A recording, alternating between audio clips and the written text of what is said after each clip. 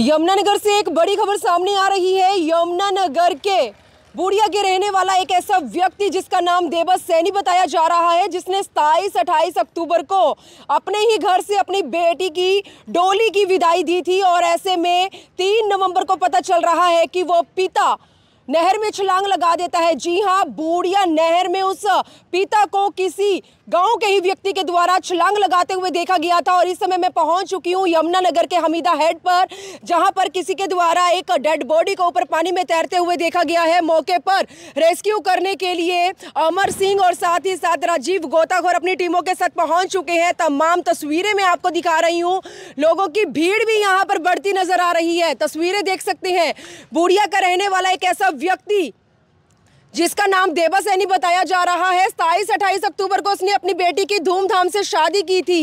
लेकिन तीन नवंबर को एक हफ़्ते के अंदर अंदर न जाने ऐसी क्या नौबत आ जाती है कि वो पिता सुसाइड करने पर मजबूर हो जाता है। गाँव के व्यक्ति के द्वारा उस पिता को छलांग लगाते हुए देखा गया था। परिवार लगातार उस पिता की, उस सदस्य की तलाश करता नज़र आ रहा था। लेकिन आज जब नहर के अंदर किसी व्यक्ति को ऊपर पानी में तैरते हुए देखा गया तो यहाँ पर रेस्क्यू शुरू किया गया। तस्वीरें देख सकते हैं, परिवार पहुँचने वाला है।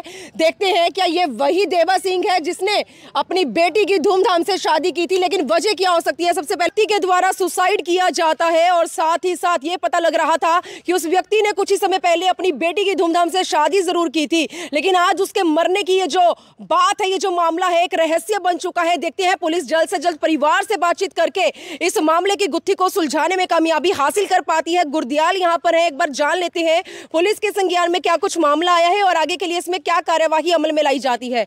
गुरदयाल जी, क्या कहना चाहेंगे? एक मामला सामने आया है। बुढ़िया के रहने वाले एक व्यक्ति की डेड बॉडी मिली है। कैसे शिनाखत हुई है और कैसे आपके संज्ञान में यह मामला पहुँचा? जी मैम देखिए तो तीन चार दिन पहले एक बुढ़िया इसमें एक व्यक्ति के मिसिंग का केस दर्ज हुआ था।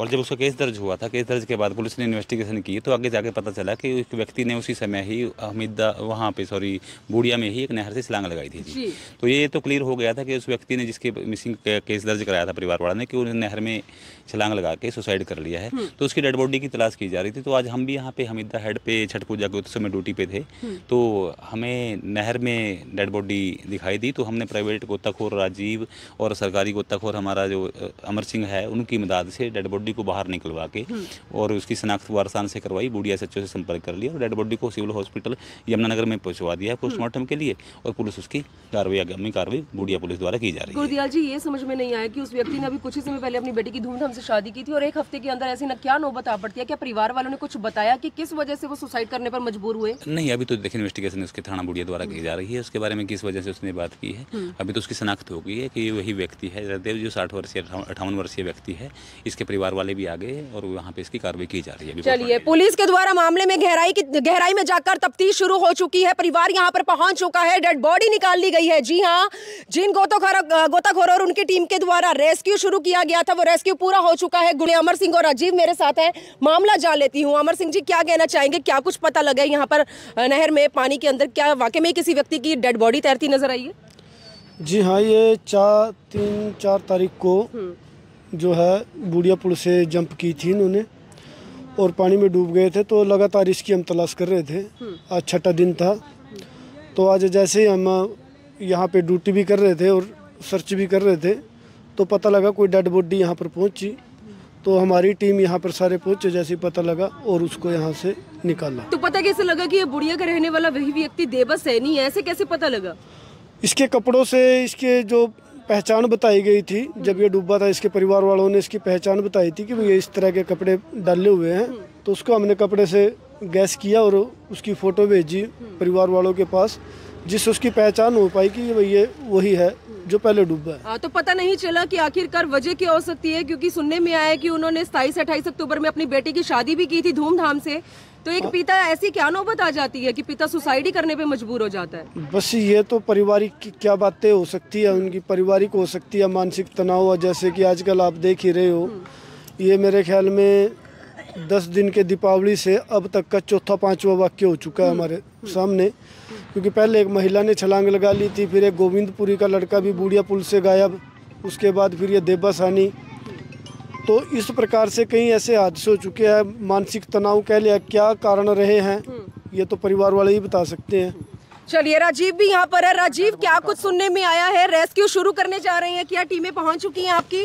हाँ जी मेरे को मेरे जोन से चेले रहते हैं आए हुए हैं इरफान हो गया प्रदूम हो गया इन्होंने डेड बॉडी देखी ठीक है वैसे ही हमने जो इंचार्ज साहब है मिदा चौंकी के उन्हें हमने बता दिया था। पहुँचने वाली है टीमें यहाँ पे? हाँ जी पहुँच चुकी हैं ठीक है इंचार्ज साहब को बता दिया था डेड बॉडी हमने बाहर निकलवा के कितने बजे का समय था राजीव जब डेड बॉडी को यहाँ पानी में तैरते हुए देखा गया? वो साढ़े आठ नौ बजे का टाइम था। अभी शुरू करने वाले हैं आप रेस्क्यू। हाँ जी हाँ जी। राजीव ये फिर से यमुनानगर शहर के अंदर नहर के अंदर डेड बॉडीज के ये जो मामले हैं ये लगातार फिर से देखने को मिल रहे हैं। क्या लगता है क्यों ऐसा हो रहा है यमुनानगर में? एक तो बाडी माजरे पुल से आज से आठ नौ दिन पहले एक लेडीज़ कूद की थी। वो डेड बॉडी मैंने बरामद कर ली थी ठीक है? वो लाल सूट पार्क का था उसकी कोई फैमिली नहीं मिली। वो लवारिस में डेड बॉडी चली गई थी। जी। ठीक है? जी। उसके बाद दो डेड बॉडियाँ और उसके बीच में भी गई हैं। ठीक है लवारिस मैं भी नहीं पकड़ सकता। ठीक है? बीच में दो डेड बॉडी और गई। ये फिर आज पाँच भी डेड बॉडी फिर ये वो ये हमने इसमें सर्च मारा था ये हमारे को दिन डेड बॉडी मिली नहीं थी। जैसे व्यक्ति की शिनाख्त हो गई है तो परिवार पहुँचने वाला है मौके पे? हाँ जी परिवार पहुँचने वाला। का रहने वाला बूढ़िया गाँव का रहने वाला है। उम्र कितनी होगी इनकी? उम्र पचास से बावन साल है इनकी पता उम्र लगा काम कुम क्या करते थे ये? ये जिम्मेदार आदमी है जिम्मेदार हाँ जी। चलिए एक बड़ी खबर यमुनानगर से सामने आ चुकी है। कुछ ही समय पहले आप देख सकते हैं कि यमुनानगर के बूढ़िया का रहने वाला एक व्यक्ति जो अपनी बेटी की शादी करता है, जो जिम्मेदार बताया जा रहा है, जिसका नाम देवा सैनी बताया जा रहा है। उसने नहर में छलांग लगाई थी। आखिरकार वजह क्या हो सकती है? लेकिन आज एसी हमीदा हेड पर किसी व्यक्ति के द्वारा सुबह के समय यहाँ पर एक व्यक्ति की डेड बॉडी को पानी में ऊपर की तरफ़ तैरते हुए देखा गया। उसी समय गोताखोरों को इस बारे में सूचना दी। मौके पर पुलिस को इस बारे में सूचना दी गई। गोताखोर पहुँच चुके हैं और कुछ ही समय में पुलिस यहाँ पहुँचने वाली है। कपड़ों से अंदाज़ा लगाया गया है कि ये वही देबा सैनी है। और परिवार भी अभी बूढ़िया से कुछ ही समय में यहाँ पहुँचने वाला है। लेकिन सुबह का समय है। जैसे जैसे लोगों को यहाँ डेड बॉडी के बारे में जो मामला पता लग रहा है, वैसे वैसे लोगों की जो भीड़ है, वो लगातार बढ़ती नज़र आ रही है। रेस्क्यू शुरू होने वाला है, लेकिन अभी तक ये समझ में नहीं आ रहा कि आखिरकार देवा सैनी अपनी बेटी की शादी के बाद सुसाइड करने पर मजबूर क्यों हो जाता है। परिवार पहुँचने वाला है, कोशिश करेंगे परिवार से भी बातचीत करने की, लेकिन तब तक के लिए यह अपील आप सभी से, इस खबर को ज़्यादा से ज़्यादा शेयर ज़रूर करें। वीडियो जर्नलिस्ट मनप्रीत के साथ, यमुनानगर के हमीदा हेड से मैं मनदीप कौर।